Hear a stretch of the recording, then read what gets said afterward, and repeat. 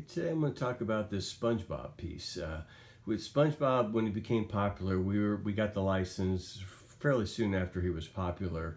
Uh, I wasn't involved in licensing then. I took it over after that. So I, you know, the owner and the guy who did licensing went out and got the license, and I came up with a bunch of concepts that I wanted to do, and this is one of them. We were limited because we couldn't do plush. Mattel had the the the license, the toy license, so it couldn't be a toy.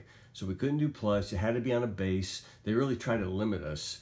And uh, but we put this item on a base. We've made it like a soft PVC material versus plush, and it just sold very well. It was uh, sold so well that Mattel made um, um, uh, Nickelodeon tell us to cancel the item.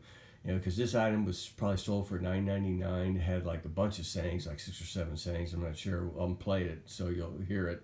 It's got the theme song and uh, Mattel had a plush piece. It was a little bit bigger. It was 1999. It had just had one saying, and that was it. And so this obviously was way outselling the Mattel piece. And you know, Mattel had done was such a big licensor with Nickelodeon. Nickelodeon was going to do whatever Mattel wanted, so they made us kill it. So we shipped it for about six months. Could have been one of our bigger items if uh, if we could have kept shipping it because SpongeBob was really hot at this time, um, and uh, but they didn't. So let me let me play it for you delicate little Krabby Patty. With your tasty, juicy, scrumptious, warm, steamy goodness. It doesn't work great.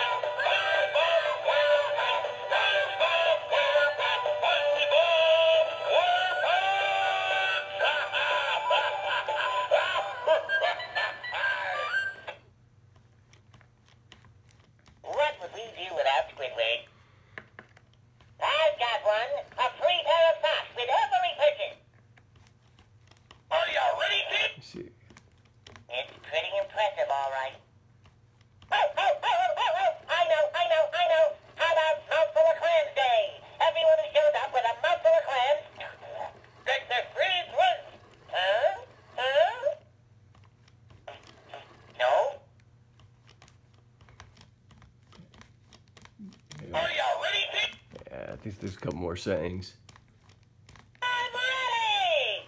I'm ready! I'm ready! Come on, I think there's another saying.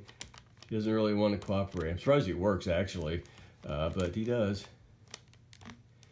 Yep. Well, there's more sayings, but uh, you get the idea. I said this was a big item for us. It could have been a huge item for us if Mattel didn't put the kibosh on it for us. So that's the uh, animated SpongeBob uh, SquarePants from the early 2000s. Thanks.